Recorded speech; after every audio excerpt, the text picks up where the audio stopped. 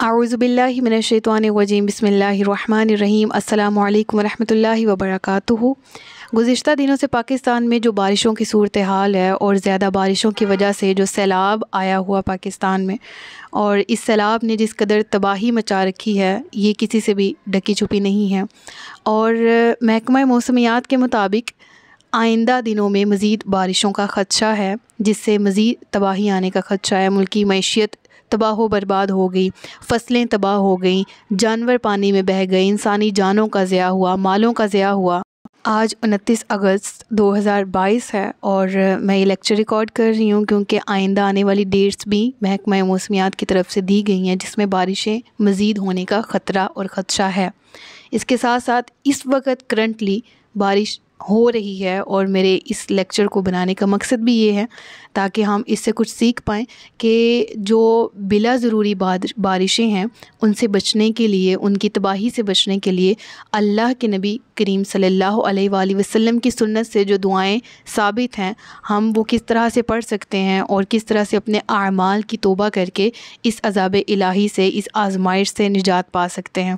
تو جب کبھی کالی گھٹا یا بادل آتا دیکھیں تو پڑھیں اللہم انا نعوذ بکا من شر ما ارسل بھی یعنی اے اللہ، ہم اس چیز کے شر سے تیری پناہ چاہتے ہیں جسے لے کر یہ بادل بھیجا گیا ہے۔ بادل برسنا شروع ہو جائیں، بارش برس رہی ہو تو یہ دعا پڑھیں، اللہم صیبن نافعن یعنی اے اللہ، نفع دینے والی بارش برسا۔ یہ دعائیں کثرت سے پڑھی جائیں کہ جہاں پر بارشوں کی ضرورت ہے اللہ ان علاقوں میں بارشیں ضرور نازل فرما، وہاں پر کھیتیوں کو سبزہ عطا فرما۔ وہاں پر جہاں پانی کی ضرورت ہے، اپنی رحمتوں بری بارش وہاں پر نازل فرما۔ جہاں پر آلریڈی اس قدر تباہی آ چکی سیلاب کی وجہ سے، زیادہ پانی کی وجہ سے رب العالمین ان علاقوں کو مزید تباہی سے بچا، مزید بربادی سے بچا۔ ہمارے حالوں پر رحم فرما۔ لہٰذا جب کبھی بارش ہو اور بہت تیز بارش ہو اور خطرے والی بارش ہو، تو رب العالمین کے ہاں آجزی کے ساتھ دعا کے لیے ہاتھ اٹھائیں، دو نفل پڑھیں لازمی اور رب العالمین سے التجا کریں کہ پاک پروردگار جو بارش برس رہی ہے اس کو باعث نفع بنائیں۔